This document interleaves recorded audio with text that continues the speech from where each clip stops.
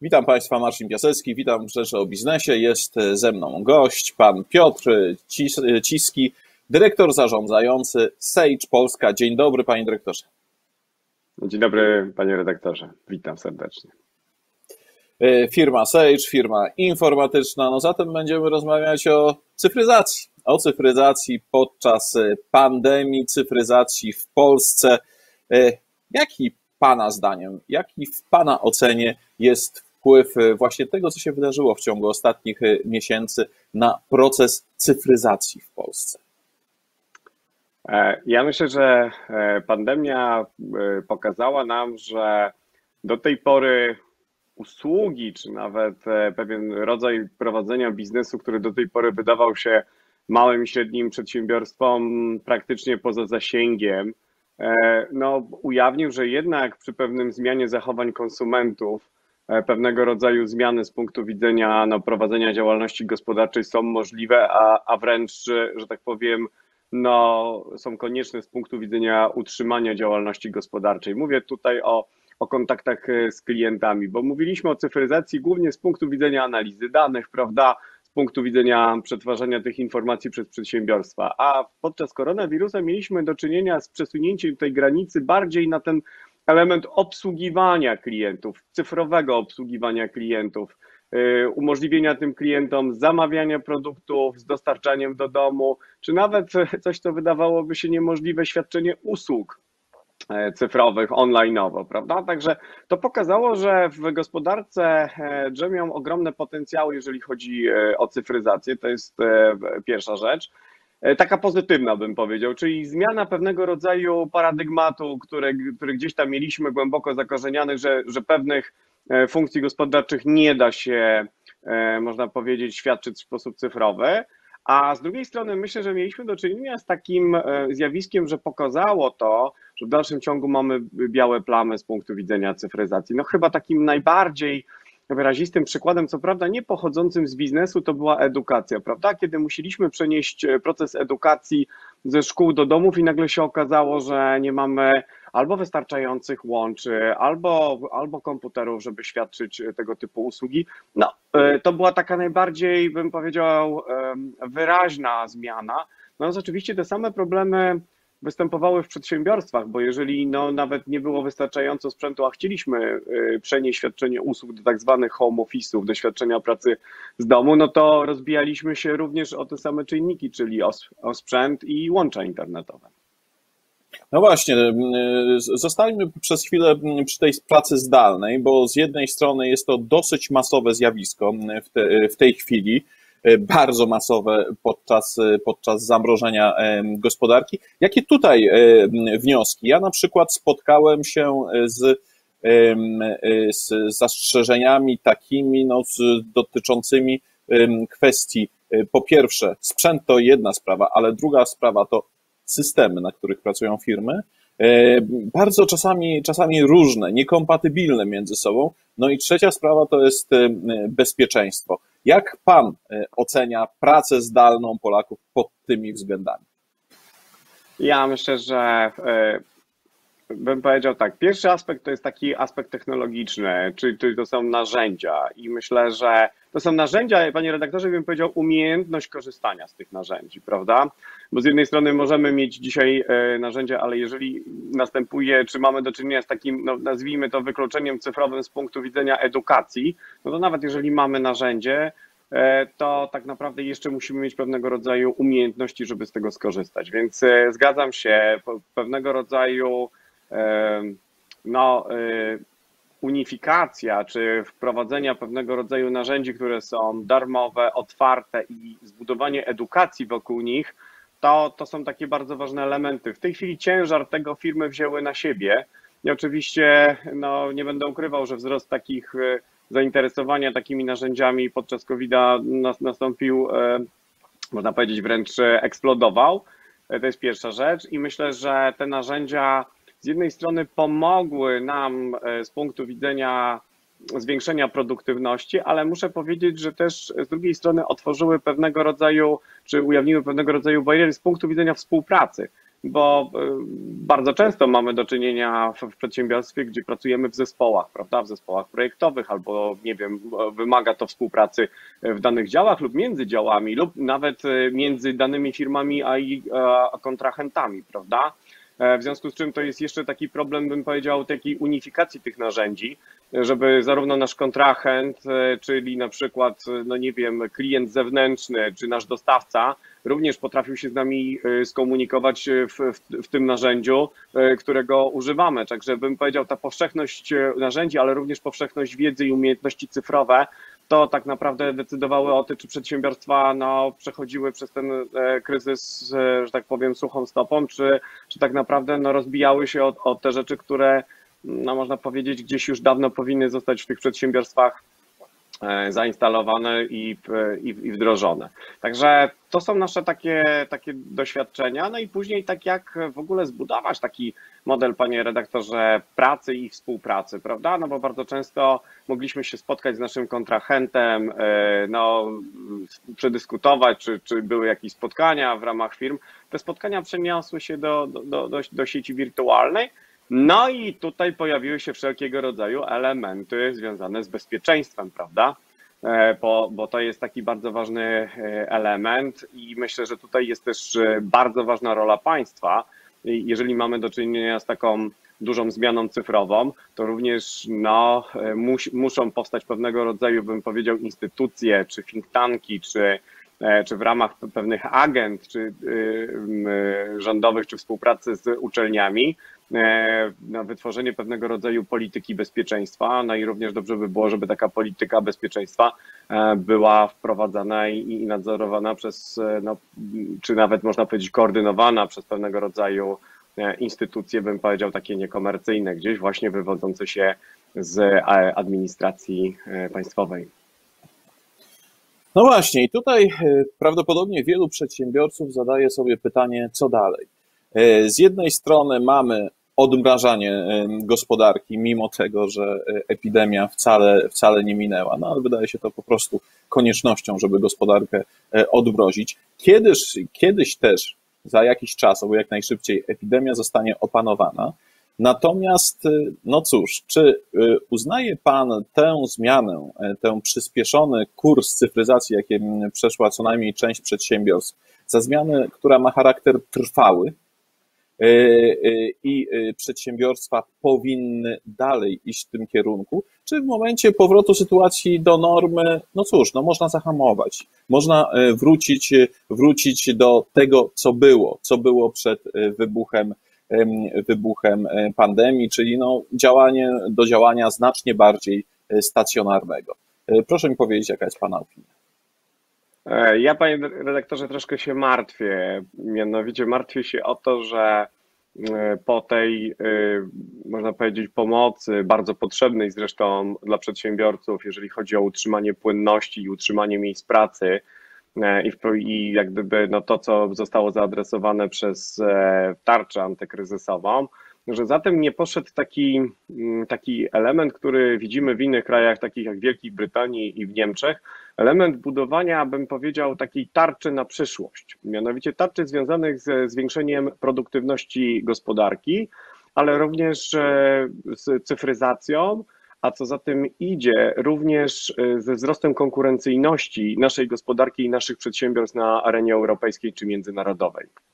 E, I to jest, brakuje mi dzisiaj takich narzędzi czy inwestycji państwa w zakresie właśnie dostępu do internetu, czy inwestycji na badania i rozwój, czy właśnie budowania pewnego rodzaju zachęt podatkowych z punktu widzenia no właśnie inwestowania w, w technologię, czy inwestowanie, czy E, czy korzystanie z różnego rodzaju patentów, czy nawet wzmacniania tej współpracy pomiędzy biznesem a uczelniami, czyli taki długoterminowy pakiet, który miałby spowodować, że to, co się zaczęło, można powiedzieć tak spontanicznie podczas e, e, koronawirusa, podczas epidemii, tak naprawdę będzie miało jakieś realne przełożenie później na wzrost konkurencyjności, bo to jest szalenie ważne, żeby żebyśmy my jako gospodarka i również jako przedsiębiorcy również no, zajmowali się E, tymi usługami, tymi produktami, które są wysoko przetworzone, które tak, tak, naprawdę mogą dać nam pewnego rodzaju przewagę konkurencyjną już na, na rynku, że tak powiem, europejskim czy globalnym, no bo widzimy, że ten świat się kurczy, prawda, że bardzo łatwo nam wejść jest na, na inne rynki. No i mamy tutaj do czynienia z takimi krajami jak Wielka Brytania, Niemcy czy Szwajcaria, prawda, które mają dużo wyższe koszty zatrudnienia, a pomimo tego ich produkty E, produkty tych krajów są bardzo konkurencyjne na rynku e, międzynarodowym i myślę, że, że rząd wraz z pewnymi agendami do tego stworzonymi, takimi jak PFR, właśnie powinien dyskutować z Ministerstwem Finansów, w jaki sposób budować takie zachęty dla przedsiębiorców właśnie po to, żeby wykorzystać ten moment na szeroko idące inwestycje, no i zbudować jak gdyby no, pewnego rodzaju system ulg i zachęt dla przedsiębiorców, żeby kontynuować tą drogę. Właśnie, czy to będzie czynnik sprawczy, bo liczne badania, co prawda sprzed pandemii, e, dowodzą, że zwłaszcza przedsiębiorcy średni, mniejsi, e, no, mają, bym powiedział, e, taki umiarkowanie entuzjastyczny stosunek do kwestii związanej z cyfryzacją. Po pierwsze, nie czują, po najzwyczajniej w świecie nie czują tej potrzeby, a po drugie na przykład nie chcą wydawać pieniędzy na te nowoczesne, nowoczesne rozwiązania, gdyż one potrafią być po prostu kosztowne. Czy Pana zdaniem to się zmieni? Myślę, że tak. Po pierwsze, ja bym powiedział tak, powinniśmy przede wszystkim zadbać o to, żeby, i to się chyba troszkę zmieniło, żeby konsumenci chcieli korzystać z naszych usług i produktów w sposób cyfrowy. No bo to jest ten element, który napędzi e, jak gdyby działania przedsiębiorców. Ja się zgadzam z panem, panie redaktorze, że cyfryzacja do tej pory, szczególnie dla e, polskiego MŚP, była takim elementem głównie analizy danych a nie prowadzenia biznesu. I rzeczywiście tam nie było takich mocnych argumentów do tego, żebym ja dzisiaj jako przedsiębiorca inwestował w cyfrowy biznes. Ja, ja dobrze znam swoich klientów, ja dobrze znam swoje otoczenie. Mój klient przyjdzie do sklepu, mój klient przyjdzie do zakładu, ale to, co zostało zmienione podczas e, epidemii, to jest to, że klient nie przyjdzie do zakładu. E, że klient nie przyjdzie do sklepu, on będzie wolał, żeby ten towar został dostarczony do niego, żeby można było pomyśleć nawet o prostej usłudze, ale usłudze, którą można jednak dostarczyć w jakiś sposób zdalny. I to dzisiaj powoduje e, ogromną zmianę w sposobie myślenia przedsiębiorców. Jeżeli e, nie nastąpi cyfryzacja gospodarki, to ci klienci przejdą do, do tych podmiotów, które takie usługi i ten sposób korzystania z robienia zakupów chociażby E, no, wprowadzą na rynek. Proszę zwrócić uwagę, co się stało. Wszystkie platformy e-commerce'owe w Polsce tak naprawdę e, zanotowały wzrosty nie 100%, tylko zwiększyły obroty 3 czy 4-krotnie i to jest zmiana trwała, bo klient, który w ten sposób zaczął robić zakupy, no jest duża szansa, że będzie kontynuował w ten sposób. A muszę jeszcze panu powiedzieć o jednej bardzo takiej prozaicznej rzeczy. Bardzo wiele sklepów czy małych przedsiębiorstw myślało i działało na rynku lokalnym, myśląc, że właśnie ta cyfryzacja nie jest potrzebna. I proszę zwrócić uwagę, pewnego rodzaju limity w sklepach e, dla, dla klientów spowodowały to, że bardzo ciężko było zarządzać no, pewnego rodzaju stanem magazynów, no bo E, po pierwsze, nie wiedzieliśmy, czy ten klient przyjdzie. Po drugie, limity spowodowało, że nie mogliśmy sprzedawać tak szybko, jak na przykład byśmy chcieli. I tutaj z ogromną pomocą może przyjść po prostu prosty system e, informatyczny, który mówi o tym, dobrze, to, to wejdź na moją witrynę, prawda, zamów sobie to, co chcesz w moim sklepie, chcesz to podjeść i ta paczka będzie czekała na ciebie. Niektórzy przedsiębiorcy radzili sobie w taki bardzo, bym powiedział, prozaiczny sposób. Zadzwoń do nas, a my towar e, odłożymy ci, tylko tu pojawia się duży problem związany z płynnością. No jeżeli my ten towar odłożymy, a klient się e, nie pojawi, a to jest towar szybko psujący się, no to ja jako przedsiębiorca ponoszę straty. Gdyby ten klient mógł dokonać takiej płatności, zanim odbierze towar, no to wiadomo, że ja jestem jako przedsiębiorca po tej bezpiecznej stronie. Więc to jest ten ogromna, ta ogromna zmiana mentalna, bym powiedział, która zaszła w gospodarce, że nawet sklep e, działający bardzo lokalnie, no musi myśleć o tej cyfryzacji, dlatego że zagraża to jego można powiedzieć, dalszemu funkcjonowaniu w gospodarce.